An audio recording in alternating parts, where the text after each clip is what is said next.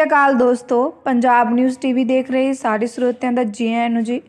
ਹੁਣੇ ਹੁਣੇ ਮੋਦੀ ਸਰਕਾਰ ਨੇ ਅਚਾਨਕ ਲੈ ਲਿਆ ਆਪਣਾ ਇਹ ਫੈਸਲਾ ਵਾਪਿਸ।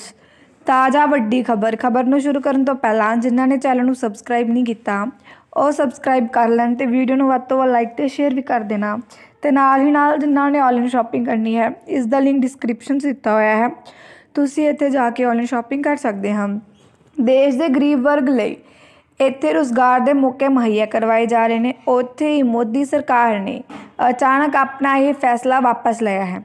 ਪ੍ਰਾਪਤ ਜਾਣਕਾਰੀ ਅਨੁਸਾਰ ਜਿੱਥੇ ਕੇਂਦਰ ਸਰਕਾਰ ਵੱਲੋਂ ਲੋਕਾਂ ਨੂੰ ਛੋਟੀ ਬਜਟ ਯੋਜਨਾ ਉੱਪਰ ਵਿਆਜ ਦੇਣ ਦਾ ਉਪਰਾਲਾ ਕੀਤਾ ਸੀ, ਹੁਣ ਛੋਟੀਆਂ ਬਜਟ ਯੋਜਨਾਵਾਂ ਤੇ ਵਿਆਜ ਦਰ ਵਿੱਚ ਕਟੌਤੀ ਦਾ ਫੈਸਲਾ ਵਾਪਸ ਲੈ ਲਿਆ ਗਿਆ।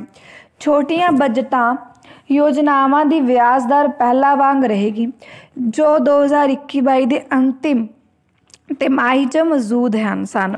ਪਰ ਹੁਣ ਨਵੀਆਂ ਦਰਾਂ 2021 ਵਿੱਚ ਲਾਗੂ ਹੋਣਗੀਆਂ। ਇਸ ਨੂੰ ਸੁਣ ਕੇ ਲੋਕ ਹੈਰਾਨ ਰਹਿ ਗਏ ਹਨ।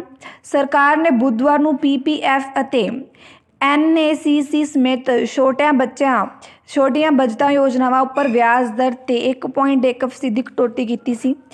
ਇਹ ਕਟੌਤੀ 1 ਅਪ੍ਰੈਲ ਤੋਂ ਸ਼ੁਰੂ ਹੋ ਕੇ 2021-22 ਦੀ ਪਹਿਲੀ ਤਿਮਾਹੀ ਲਈ ਕੀਤੇ ਜਾਣ ਦਾ ਐਲਾਨ ਸੀ, ਜਿਸ ਨੂੰ ਹੁਣ ਬਦਲ ਦਿੱਤਾ ਗਿਆ ਹੈ।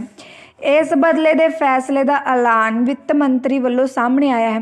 ਇਸ ਸੰਬੰਧੀ ਜਾਣਕਾਰੀ ਵਿੱਤ ਮੰਤਰੀ ਨਿਰਮਲਾ ਸੀਤਾਰਮਣ ਵੱਲੋਂ ਟਵੀਟ ਉੱਪਰ ਟਵੀਟ ਕਰਕੇ ਦਿੱਤੀ ਗਈ। ਉਹਨਾਂ ਕਹੇ ਕਿ ਸਰਕਾਰ ਵੱਲੋਂ ਇਹ ਫੈਸਲਾ ਵਾਪਸ ਲਿਆ ਜਾ ਰਿਹਾ ਹੈ ਕਿਉਂਕਿ ਇਹ ਐਲਾਨ ਗਲਤੀ ਨਾਲ ਹੋ ਗਿਆ ਸੀ। ਵਿੱਤ ਸਾਲ 2021-22 ਦੀ ਪਹਿਲੀ ਤਿਮਾਹੀ ਲਈ ਛੋਟੀ ਬਜਟ ਯੋਜਨਾ ਦੇ ਵਿਆਜ ਦਰ ਘਟਾ ਦੇਣ ਬਾਰੇ ਖਬਰ ਆਈ ਸੀ।